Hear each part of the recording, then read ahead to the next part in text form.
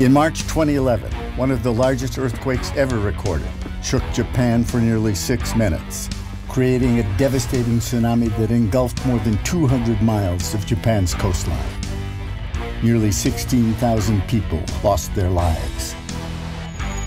The tsunami also flooded the Fukushima Daiichi nuclear power plant, knocking out the plant's control systems and backup power.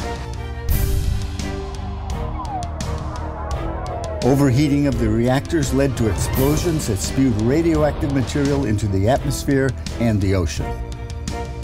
Efforts to cool the reactors with seawater caused even more radioactive material to wash into the Pacific Ocean. Fukushima was an unprecedented event, resulting in the largest accidental release of radioactivity into the ocean in history. To understand the impacts of Fukushima, we need to know more about living on our naturally radioactive planet.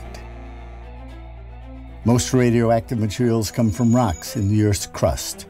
Some are produced by humans.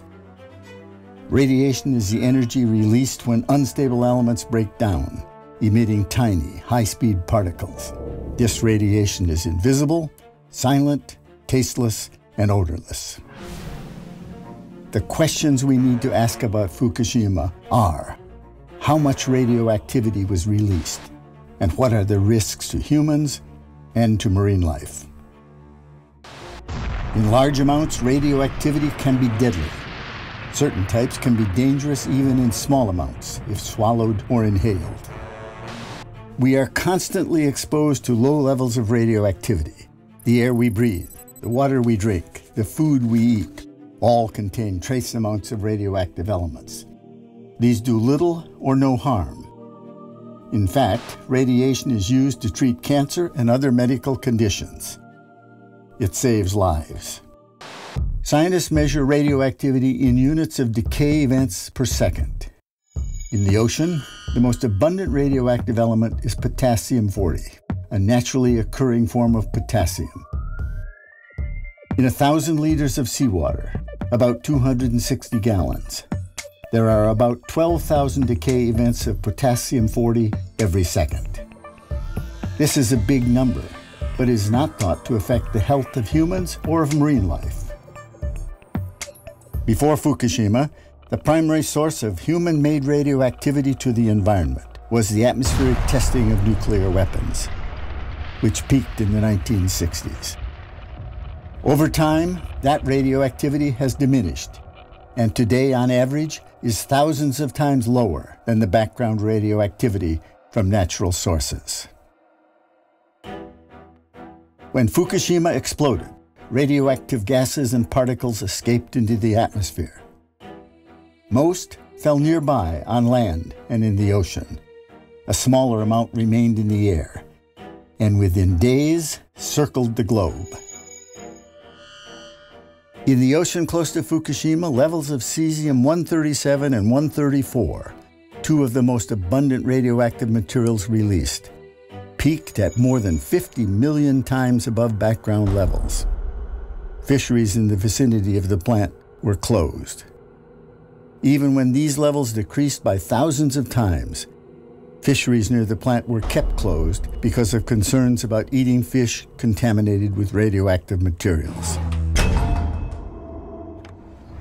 Tuna and other migratory fish close to Fukushima were exposed.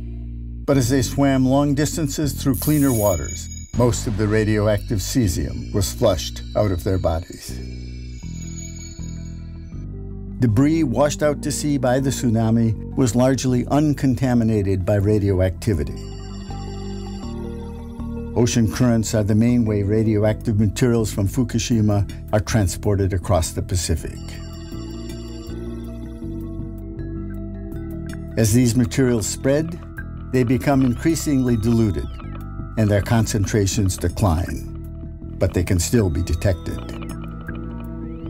Scientists who have modeled the plume predict that radioactivity along the west coast of North America will increase, but will remain at levels that are not a threat to humans or to marine life.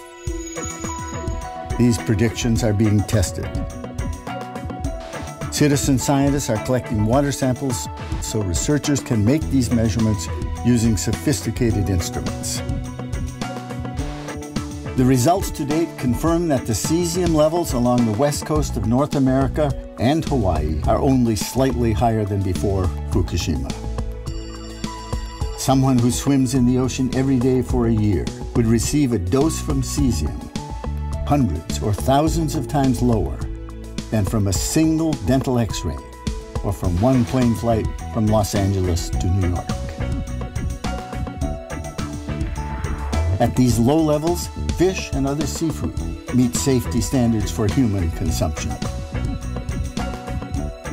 While radioactivity can be dangerous and should be closely monitored, we should remember that we will always be exposed to some because we live on a radioactive planet.